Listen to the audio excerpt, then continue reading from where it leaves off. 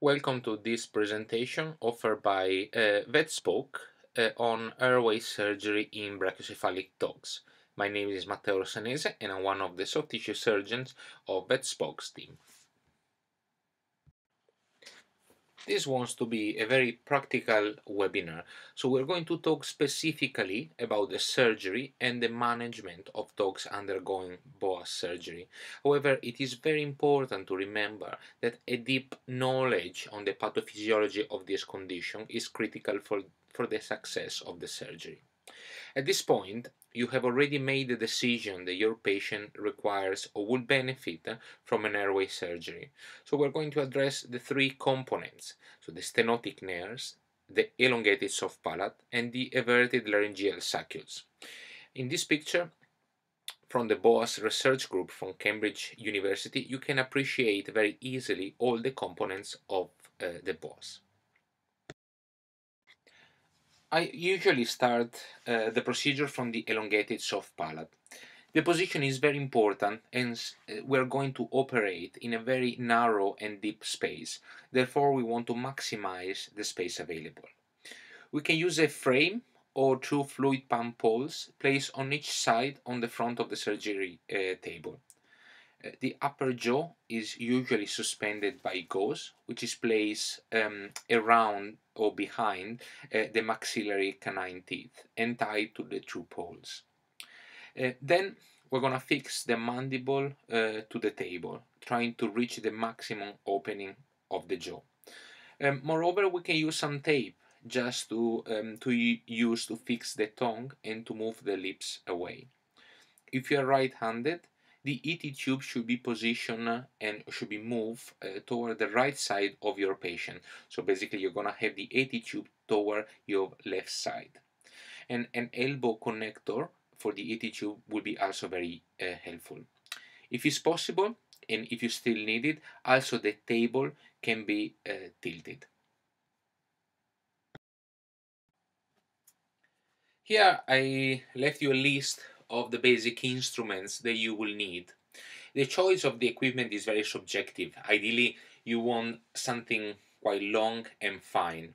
For the soft palate, you need a pair of Metzenbaum scissors, a few mosquito forceps, and a pair of um, long thumb forceps and a needle holder. For the nares, you um, will need just a number 11 blade, and a, a, pair of thumb forceps. And for the laryngeal saccules, you will need a pair of long thumb forceps or a pair of Allis uh, tissue forceps and a pair of Metzenbaum scissors. It will be also important to have a suction available and um, uh, despite an assistant is not really necessary for this procedure, it will make your life easier. It is very important to closely monitor your patient since admission as they can get very stressed. I will try to operate on them as early as possible so I can monitor their progress during the day. Uh, so you can start with the pre-oxygenation and try to secure the airways as soon as possible. Make sure the endotracheal tube is um, capped and well placed.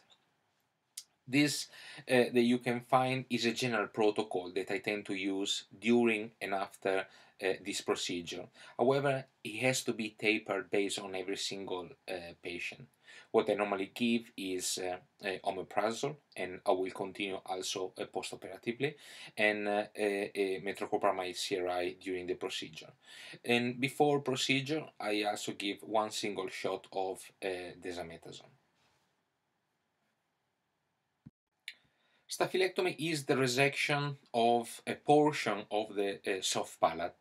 The level of resection usually is um, middle to caudal border of the palatine tonsil. In severe cases, I normally aim for the um, middle tonsil rather than the caudal uh, border.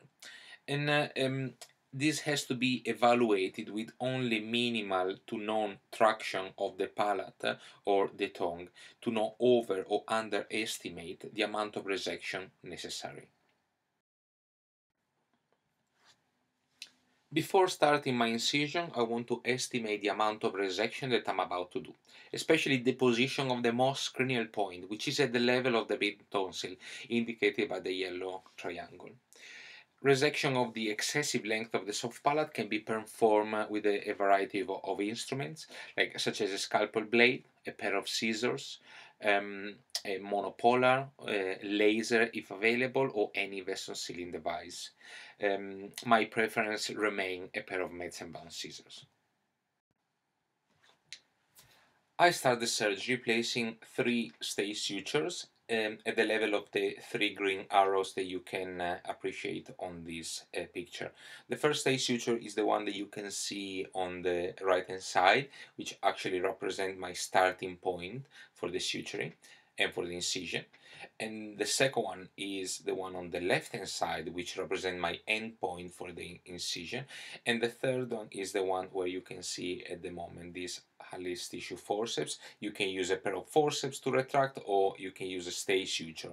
Basically the aim is to retract the palate during the incision but actually to manipulate it um, to help you for the incision and for the suturing. I tend to use the cut and sew technique. So now I start cutting one third to one half of the soft palate with a pair of curved Metzenbaum uh, scissors, uh, following the semicircular yellow line that I show you in the previous slide. I use 3 knot or 4 knot monofilament rapidly absorbable suture material. Start apposing the nasal mucosa to the oral mucosa in a simple interrupted or continuous pattern. Try to space the suture 3 to 4 millimeters apart. Usually the bleeding is minor and the suturing is enough to create hemostasis. It is important to appose the two mucosas to avoid any granulation tissue and to reduce postoperative inflammation. When I finish the first half, I finish my uh, incision and I uh, continue to suture till the two mucosas are fully apposed.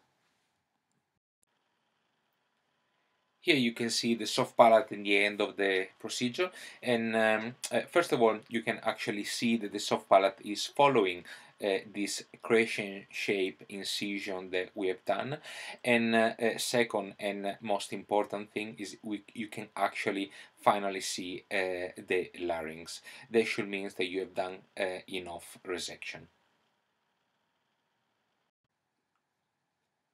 This picture is a nice comparison um, before uh, pre-surgery on the left and post-surgery on the right from the same uh, patient and you can see that now you can appreciate uh, much more the larynx.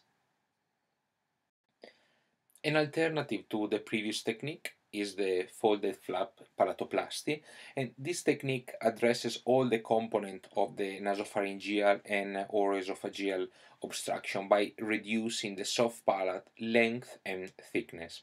This is, in my opinion, a more demanding surgery as it requires a partial excision of the thickness of the soft palate, including part of the palatinus muscle, folding the remaining soft palate forward. On this slide, you can find the article with the full description of this technique if you're interested. Then we move forward and um, we're going to approach the stenotic nares. This one of the uh, typical and most easily recognized uh, primary anatomic component of this uh, brachycephalic syndrome and is the second part of um, our BOAS surgery. I expect some bleeding uh, giving the good blood supply of the nose. Therefore, I want to be sure that my ET tube is adequately uh, cuffed and I want to check my patient throat at the end of this um, procedure. This involved the excision of a wedge of the ala nasi uh, with primary closure of the defect. Um, this wedge excision can be made vertically, horizontally, or laterally. Um, and the incision can be made using a blade, either a number 11 or a number uh, 15, uh, or you can use a punch biopsy um, instrument, or you can use also a beaver blade. Remember that the position of the animal is in sternal recumbency, and this time with the head uh, resting on a towel or on a, foam. This is how we want our animal on the table so position in sternal recumbency with the head resting on the table um, we should try to make an effort um, to have the nose uh, flat and in a perfect position because we want to remove um, an equal size of uh, nose on each side to have a symmetric uh, nose from the cosmetic perspective. So we're gonna grab the ventral portion of the alar fold parallel to the medial border uh, of the fold with a pair of uh, forceps. And we use our um, number 11 blade exactly as you can see uh, in the picture. And we're gonna incise parallel to the medial edge uh, of the um, of the forceps. So with the aim to preserve the dorsomedial attachment of the alar fold then we're going to insert the blade deeply into the fold and cut downward until we can see the blade um, exiting the ventral edge of the fold. In some large bulldogs, uh, this, the, the cut can be as deep as uh, even 10 or even more than 10 millimeters. Bleeding is usually profuse, uh, so at this point do not uh, panic. Uh, the only way to stop the bleeding will be uh, by uh, placing our suture. So we need to make our second cut, which is the lateral cut. We're going to start dorsally at the beginning of the previous uh, incision, and we're going to cut outward from dorsal to ventrolateral, trying to meet the caudal margin of the previous incision. So the resultant wedge will appear pyramidal in shape. Um, the side will continue to bleed, obviously, till we're gonna start placing our uh, suture. If you need to take some time, just place a, a, a swab uh, inside the nose and uh, um, momentarily the bleeding will stop. Using some 4-knot monofilament rapidly uh, absorbable material, we're gonna place uh, the first simple interrupted suture to align the rostroventral margin of the remaining tissue of the alar fold. Um, what I tend to do is I'm gonna tie the suture firmly, but I'm gonna leave um, the ends long and I'm gonna secure them with the hemostat. Uh, I do this because I can retract this suture dorsally to view the ventral uh, aspect of the defect and I can place a second simple interrupted suture across the middle of the ventral uh, defect. I usually place uh, three um, simple interrupted. So the last one uh, will be on the dorsal and um, cranial aspect uh, of my uh, incision. If there is still some bleeding, I will probably place uh, other suture as needed. If I'm happy with the position of my suture, I'm gonna just pack the area with a swab or some q-tips inside the nose to put some pressure. I'm gonna leave it there for five minutes and by the time um, I finish, uh, the bleeding will have stopped.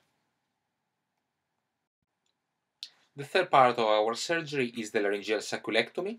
So the everted laryngeal saccules are considered the first stage of laryngeal collapse or laryngeal collapse grade 1. If the resection of these everted laryngeal saccules is needed, remain questionable. I tend to do when they create an obvious obstruction and they are obviously uh, swollen. When the laryngeal saccules are everted, they appear as shiny white convex structures protruding into the airways, cranial to the vocal cords. So in these two pictures, you can see on the left hand side, uh, um, indicated by the green arrow, you can actually see some obvious laryngeal uh, eversion of the laryngeal saccules, whereas on the right hand side you see a normal larynx where you can notice the vocal cord but you don't see uh, the laryngeal saccules. The excision of the saccules are accomplished with temporary extubation or by pushing the endotracheal tube in the opposite direction of the saccules we're, we're going to um, remove. As um, you can see uh, on the on the picture, uh, once the saccules are visualized, they can be grasped with uh, either a, pair of Allis tissue forceps or a, a, long hemostats and retracted rostrally and medially. And excision can be done uh, using either a scalpel blade or um, a pair of Metzenbaum uh, scissors. Hemorrhage is usually minimal and can be controlled with some gentle uh, mm, pressure, and the resection site are left to heal by a second intention. Occasionally, um, it can be a very tricky surgery to do, so make sure that you pay attention to the landmarks and to the uh, structure in that area that you don't want to damage. At the end of the three uh, procedures, we are now uh, ready for recovery, which is the most uh, challenging and critical uh, period. The aim is to ensure an adequate airflow to our patient. So first of all, we need to make sure uh, that we're gonna suction all the blood and any fluid or mucus uh, from the throat and there is no ongoing bleeding, especially from the nose. We want a calm and slow recovery. Um, it is suggested to extubate them with the cuff partially um, inflated and to make sure they still have some uh, oxygen uh, nearby. It is very important to have an ongoing uh, monitoring and we're gonna observe our uh, patient for any signs of dyspnea and cyanosis, which may result from severe swelling or postoperative aspiration uh, pneumonia. If we have some swelling and if we have uh, some respiratory uh, issue, it is very important um, to have an uh, intubation kit available, uh, to have some uh, sedation or analgesia already uh, prepared, um, and to be ready for temporary tracheostomy in case of severe um, airway swelling and airway obstruction. And finally, we can also withhold the food for the following um, 8 to 12 hours uh, post-surgery.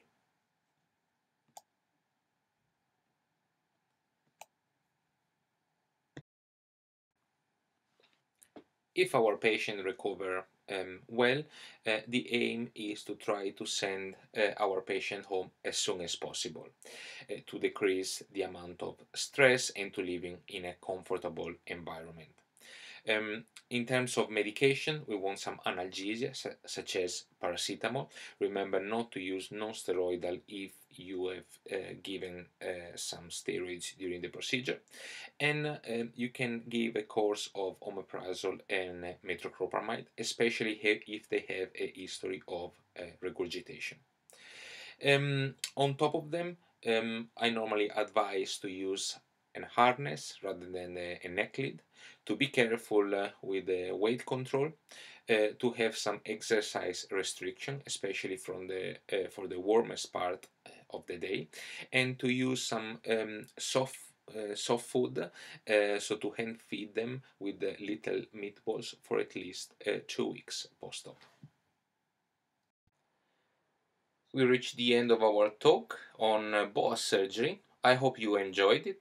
Um, if you have any questions or comment, please feel free to send us uh, an email. And if you have any topic you would like to discuss with us, or you would like a webinar on a specific pathology or surgery, please send us an email. Um, I would like to thank again VetSpoke for this opportunity and see you to the next webinar.